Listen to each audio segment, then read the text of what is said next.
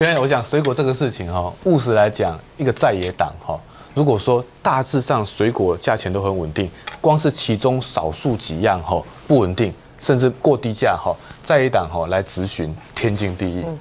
你知道这天经地义，这个没有什么问题。可他今天把它印成一个文宣，甚至刚刚从郭正亮委员的口中要讲说，水果普遍在崩盘，那就不是针对部分的问题提出警讯哦，而是对整体台湾的果价提出一个说，我在野党。以我在野党来背书讲，台湾的水果现在都不行了，那我认为这个就很严重。为什么？因为这样子的一个论述，有可能让很多消费者在买水果的时候有观望心态，比较低级，觉得觉得觉得说哈，觉得说我买不到，哎，奇怪，就明明大家民进党都已经说要崩盘了，在野党、执政党都有基本的公信力和信仰者了，南农工崩盘了，为什么我买的还是那么贵？因此呢，我会怎样？会观望。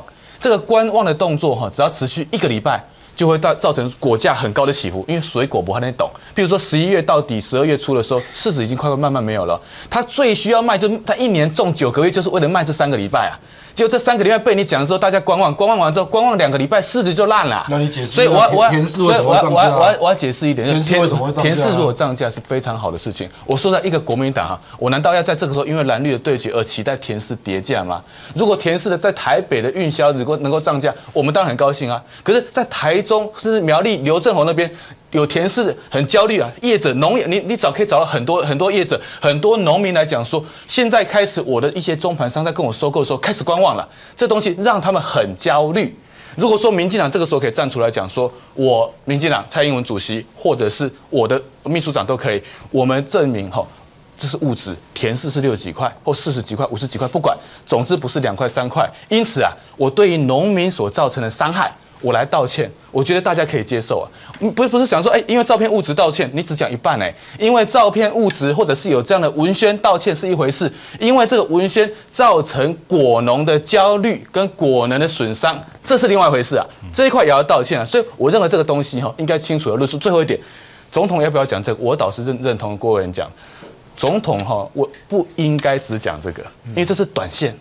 如果说二零一二总统大选是关系到二零一二到二零一六台湾的未来，你只讲水果的供销，我认为格局太小，而且太炒短线，应该好好论述为什么选我跟选民进党啊不一样。那民进党大可以像以前一样拼命的攻击，可是不要忘记哦，要告诉他为什么过去八年你做不到，而这个时候蔡英文在原班人马的支持之下，你做得到。我补充一句话：原班人马，邱毅人、吴乃仁这些人都不会入阁，这些人都不会入阁要公开宣誓哦，都不会入阁，要公开宣誓哦。哈，我保证邱毅人、吴乃仁都不会入阁。这是郭正亮委员的见解哈，不是民进党的新闻稿。不过这一些人是目前在主导民进党选情的核心人物，这是不争的事实啊。我我回应一下啦。那朱巨斌兄，你认不认为陈武雄应该公开道歉？哪一个部分？陈武雄啊，他对于事实，我刚刚我们讲说价格在崩盘是比较今年的第一季嘛，崩盘了。比较低是比较低，跟崩那那不这跟崩盘不一样，崩盘是变成完全低的是用语的问题了，用语的问题。我说第一个，你认不认为陈武雄应该道歉？那我也建议中天呐，也针对陈武雄这个议题做个民调，你认不认为陈武雄应该为产销失衡、国价崩跌来道歉？这个问题怎么看电影吧。民进党总统参选人蔡英文出席电影首映会，不过一听到“柿子”两个字，马上脸色大变，掉头就走。我们可以共同的一起来体会。嗯那个。柿子现在变成水果大战，有没有？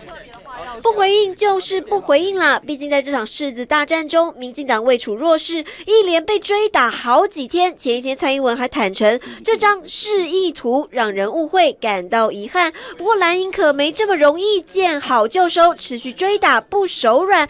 马总统刻意前进水势，重心加意，在柿子风暴眼上召开行动中常会。错了就认错，错了就道歉，道歉。就算是怎么样，大家也可以谅解。可是他错了以后，他不道歉，他一直熬，一直熬。趁热追击，马办还推出哭诉影片讽刺蔡阵营。刚买的五千公斤甜柿也派上用场。马总统在府内接见电信业老板，不止现场分送，还当起推销员，邀企业家们团购。不管柿子一斤到底多少钱，这场柿子大战已经让总统马英九民调止跌回升。蓝营总动员，主帅领军从中央到地方，要把柿子效应发挥到最大。到底一月中谁会滞销？耐人寻味。中新闻做报道。按照南非大主教 Desmond Tutu 的说法，要政治人物道歉是全球、全世界第二件困难的事哈。坦白讲，这也不是坏事哈。把柿子当然是小事，但把它拿来检验，见为之大了哈，就是一种创造性破坏。正如几年前我们的揭弊运动，把司法检查系统做体检。是有所改善，这是来检验一个农业政策哈。到你要延续对，我觉得哈，道歉其实第一天不难了，越来越不容易哈。那我觉得这个水果奇案讨论到今天，两边其实都走偏锋了哦。平常讲哈，马英九也上当了。马英九刚才也是讲到填诗的部分啊，这个图片物质的部分呢，其实不止啊，是整个十二个水果都有问题。我觉得今天如果我们撇开现在没有选举哦，啊没有考虑选举效应的话，如果请民进党或者国民党也好重做这个月历，我觉得合理的做法应该是当令水果该月丰丰收月份的最低品级曾经达到的最低价格嘛。啊，你懂不大家？哦啊，如果要这样的话，那文宣部就不用做了 啊，做这个干嘛？所以文宣部吼就是拢迄种吼足假的人，啊手段真毒的人，啊提了足极极端的介绍，哦啊来讲互你看一看，啊讲啊相信这样就是讲，那我来会继续搞的，干起来呢？哦，这个是文宣的目的嘛？哦啊，但是有的时候就是没有想到，当你做的过火的话。你就产生反效果。对，胡适说啊，有几分证据说几分话。如果不基于事实，坦白讲，多等爱好也是很麻烦。或者你刚刚谈到电影哈，其实这个电影我也没有注意是什么电影。结果蔡祖祥也眷村的，他为眷村文事色变了。对对对，你怎么评论蔡主席的态度？我记上了哈。呃，这个我记得之前蔡英文主席在讲两岸部分的时候，郭正亮委员有说哈，他说总统不是哲学家。那我想农委会主主委跟县长哈，立委哈，也不应该是哲学家了哈。刚刚郭正亮讲说啊，是不是陈武雄隐瞒了部分事实？我也很好奇，张花冠是不是也隐瞒了部分事实？对，张花张花冠哈，一开始说没钱，公博急嘛，没急掉呢，一个建两百搬出来，两两百万说啊，那那我来收购。结果农委会昨天就说，那我那全部都我收好了啊，刚一台金一公斤多少钱啊？就农委会负责。所以农委会跟张花冠有没有把完整的事实告诉大家？这个我是很怀疑啊。刚刚郭正亮讲什么？说他咋会通电话？嘿，让我想起一件事情。一共的啦，哎，对啊，一共的哦，一共的嘛，你起引述张花冠的公款嘛？记不记得之前那个陆生补助的时候，陆委会啊，就赖信元他们啊，跟有台的真人节目当场杠上了，说我有传真给你呀，然后那边说我没有收到啊，一个这么大件的电视台说连传真机都收不到，当时呛说讲掉通联，我追这个东西追了一年多，掉通联啊，通联怎么调不出来呢？传真有通联的，你不知道吗？不然六合彩那个签单是怎么传的？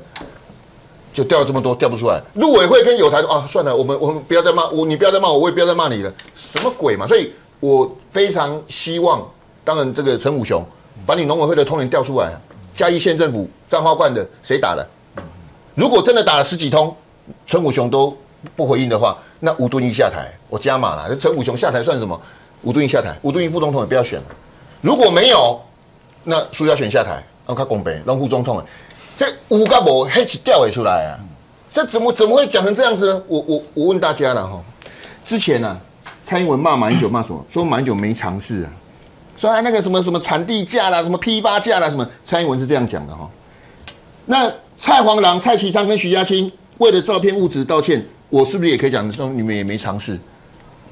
蔡蔡英文，我检验的蔡英文，蔡英文那第一时间的的那个逻辑是什么？他的心态是什么？我哪管谁谁当选谁不当选？蔡黄郎昨天讲什么？文宣又不是蔡英文做的啊，只是照片使用不够完整啊。蔡英文有什么错？蔡英文什么错？我教机关后，我最后一张一张图了哈。蔡英文之前讲什么？我们哦，民进党要打一场不一样的选战，看到没有？不一样选就我不道歉呢。我不道歉了，我有三只小猪，我管你什么？你你骂啊，我就看电影啊，我看电影会哭啊。你们农民受到影响，你拎到来代级啊。反正你们国民党投不下去也是投给我啊。这块呢，党公公，哎，我我我要去选，所以中医大哥那些市值的价钱我也弄不清楚。嗯，但是政治人物这个部分哦，我觉得要检验，尤其郭伟刚刚讲那个十几通电话那个，那个陈武雄哈，同意要要公布。好啊，如果错的话哈，看谁错就谁下台的。好，其实哈，文宣部门所做的。有时主席候选人太忙不一定知道，但是如果没有处理好，盖瓜承受。这两党其实都一样的对，好，包括像梁文杰提出那一次在提到说说三例哦，波罗刚刚哎，我都算早知道消息都没有听过三例啊，他敢加吗？我都给他我他没讲，我都知道这个事情知道，但我我都第一次听到三例，就是我知道啊，这出代机，所以其实各党都一样盖瓜承受。是，这这钟先生，我再多嘴一句哈，我想郑亮兄也在行政部门待过哈，有没有可能一个县长打电话来，好，你在体委会当过副主委嘛？你看我记忆力多好，然后一个县长打电话来说，哎，我们什么活动啊？你你看怎么给我们资源或补助什么？打了十几通，我我一个政务官我都不理你。因为公务机关都有公务电话记录簿的，这个俊明兄当过新闻局长也知道，也开过哎，那个光晴小姐几点几分打来，什么事情什么要记录的。况且彰化官被 hit 啊，是陈武雄被 hit 了。蔡英文办公室发言人的徐嘉庆小姐现在打电话进来，也许是有所寓意或解释。来，嘉庆小姐，请说。呃，我想这个连续几天以来，大家都非常关心市值的问题。但重点其实不在市值的问题，而是农民整体的收入没有增加，而物价飞涨。我想这个是原始民进党在关心这件事情的重心所在。哈，那我在日前，包括昨天，哈，包括前天，我都认为说，我们在这个照片的引用上有错误一事。我们认为有啊，这个确实是有有失妥，而且应该要有一定的这个质疑。哈。所以，我都愿意为这件事情做整体的这个概括承受的这个呃表示歉意。但重心我们不应该模糊掉哦。如果今天的农作物每个价格都非常的好哦，农委会也能够体恤农民，真的把这些所谓贱价的这些农作品、农作物都做了妥善的处理，我相信不会衍生到后面这么多的问题哈。那如果农委会的主委觉得说，他作为一个这个最重要的主政官，他不想做这些事情，那也很简单，他一月十四号就可以辞职了哈。那所以我们不应该拿农民来当做是一个筹码，作为旋转的工具哈。这一点，我想到今天为止，包括蔡英文主席，包括我们的团队，都还是这样的一个思维逻辑。好，毕竟。不管是农民也好，或者一般的劳工农民也好，哈，都是我们关心的对象。我觉得做为政者最重要的，还是要回到对人民关心的议题上去。谢谢你啊，江小姐。我想一说回到政策面讨论，有有公平起见，应该请苏俊。对对，我知道，我知道。我想先请俊俊，呃，我们就让你来回应那个嘉欣小姐的发言，好吗？我想哈，农民来当做筹码，作为选战的工具，这是不应该的。可是好像在二十分钟前，大家看看国民党在嘉义的行动中常会的画面，是谁带着农民？来抗争的是谁拿着这个柿子来抗争的？而且这个情况哈，从过去三年来屡见不鲜。如果是要作为选举操作，那就是当筹码；如果你是真的单纯想帮这一群农民争取权益，那请告诉我他们的问题在哪里？好，目目前已经证明两块钱的柿子市场几乎是买不到了，除非是三级品，那些照片拍出来都很难看，没有人会用那个照片，绝对不是民进党是记者会的那样子的一个柿子。所以这个要讲清楚。第二个部分，我在新闻局服务过，你不要讲说。那个县市长打电话，就算是民进党立委打电话，我们也不敢不接。为什么？这是最基本的一个政务。哪一个行政官员哈，有这些有这些立委打电话来，你都拒接的哈，那已经在立法院传开了，叫做谋骗呐。你懂我意思吗？这个东西是所有立法委员的公敌啊，传开是这个，很少会有人这样的。所以说，我我我觉得这东西哈，讲的说十几通电话都没有人回，这是说的有点夸张。另外一点我要强调，十一月二号农委会已经有正式公文，三分之二我出，三分之一已出，六级八班我都出两八班，那引擎啥？八万，六两百万，我得出四百万，那已经六百万。如果说那个时候有这个白纸黑字的公文为证，照理想，照我们这嘉义县政府可以有很多积极作为啊，为什么没有作为？我觉得这个是大家比较好奇的地方嘛。